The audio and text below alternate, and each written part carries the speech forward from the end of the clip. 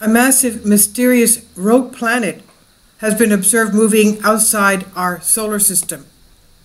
A lot of things have been observed outside our solar system, and just a few days ago, the uh, Lucy satellite has been launched, heading towards the Jovian planets Jupiter, Venus, Uranus, Neptune, in order to study those uh, gas giant, giants in the edge of our solar system, and also the Centaur comets and asteroids, which are as small, or as big, I should say, as small planets, and also to study the Kuiper Belt objects. And also, of course, these things. Perhaps could it be Planet X, uh, Planet 9, Nibiru? And it's only, as we know, about 20 light years away, fairly close in terms of celestial distances. 20 light years away, this rogue planet. This mysterious large object floating around outside our solar system, researchers are not exactly sure what it is, although it could be a rogue planet.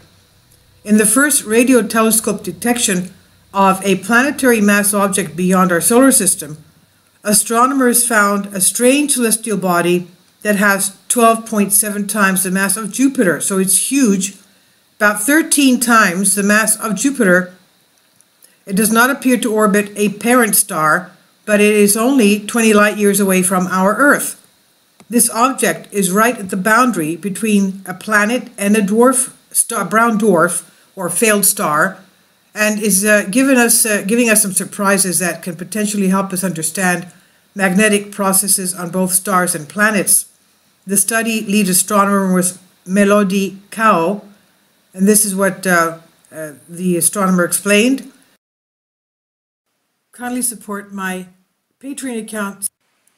The daily posts are five videos daily, and they are totally different from what I have on my YouTube channel.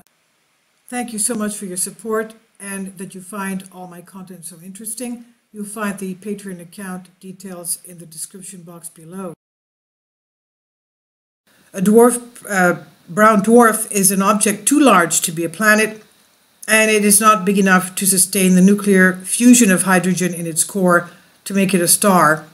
So uh, this is not the first time we've heard of brown dwarfs at the edge of our solar system. A couple of years back, I would say about four or five years back, a lady from NASA came out with the uh, announcement that we have a brown dwarf at the edge of our solar system.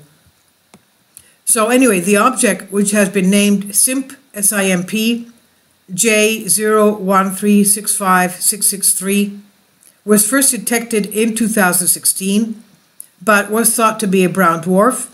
The latest data reveals it's younger than first thought at a relative youthfulness of 200 million years old, and its mass is smaller, so it could be classified as a planet.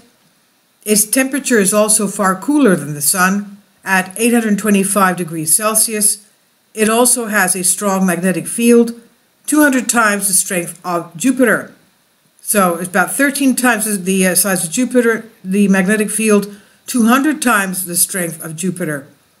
The researchers were able to pick up on the object's magnetic activity using a powerful radio astronomy observatory called the Very Large Array, a National Science Foundation facility which is in New Mexico.